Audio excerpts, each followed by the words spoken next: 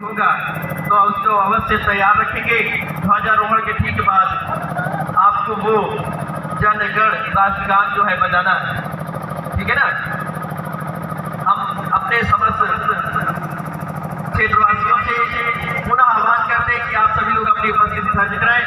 साथ साथ मानव के जो सुपुत्रगण है सभी का नहीं ले सकते लेकिन आप लोग से विशेष आग्रह करेंगे कि आप लोग भी अपनी उपस्थिति एक कम में